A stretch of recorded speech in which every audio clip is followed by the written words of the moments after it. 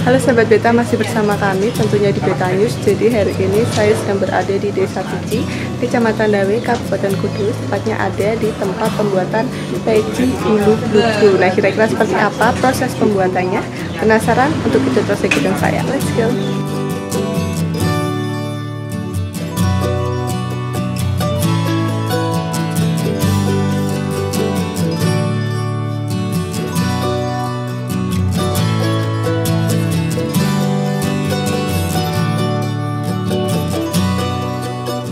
Mas untuk inovasi pecinya ini udah sejak kapan Mas? Terus namanya juga apa gitu? Ya alhamdulillah karena peci sekarang sudah inovasi terus ya banyaknya banyaknya konsumen pada minta. Sekarang di waktu musim hujan kemarin itu musim lebat-lebatnya hujan dingin ada yang minta kayak ini bulu mm. peci bulu namanya dulu bulu.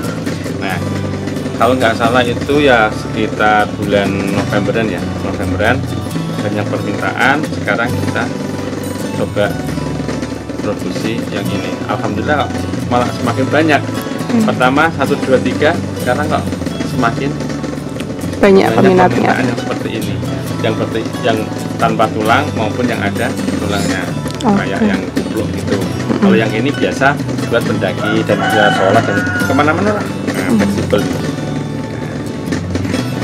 Terus kalau untuk bahannya mas ini menggunakan bahan apa sih?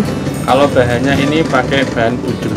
Mm -hmm. Budru ini budru yang ya lumayan agak mahal juga sih. Okay. Cuman di sini kita daur ulang semua daur ulang sampah mm -hmm. dari pabrik oli yang terkenal. Jadi kita harus pintar-pintar sekolah.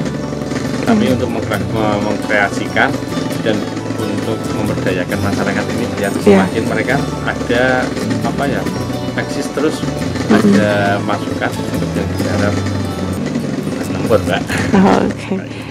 jadi ini kayaknya kain apa anvel anvelan itu anvelan itu sampah dari pabrik mm -hmm. yang pabrik garment untuk ada di Jepara atau ada di kadang ada di mm -hmm. Subang tapi ini okay. biasanya dibuat dari tas mm -hmm. atau dibuat jadi sepatu nah, kebanyakan jaket mm, jaket ya jaket.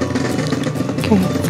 Terus kalau untuk uh, harganya Mas berapa ini? Kalau harganya sih dari 60 40 sampai 60 ribu.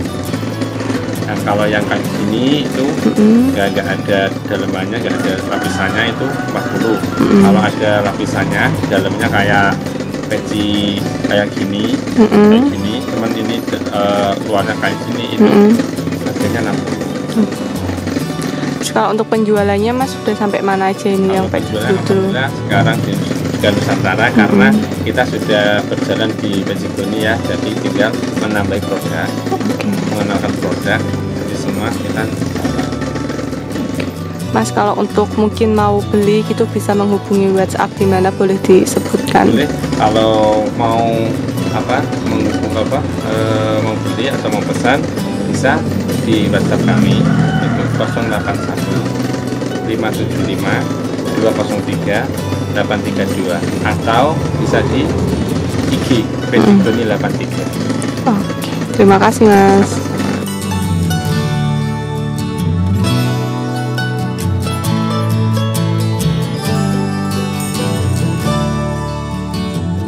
Oke sahabat beta jadi itu dia liputan saya mengenai pembuatan peci bludru Nah jadi peci bludru ini adalah peci uh, yang berbahan dasar bulu bludru gitu.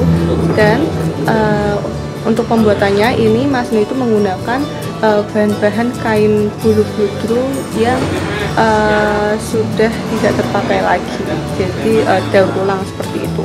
Dan untuk harganya pun juga cukup terjangkau yaitu hanya uh, mulai dari 40.000 sampai 60.000 saja. Jadi ada dua uh, dua jenisnya yaitu yang pertama itu kuplu dan yang kedua itu peci. Nah semoga liputan kali ini bisa bermanfaat untuk sahabat kita semuanya.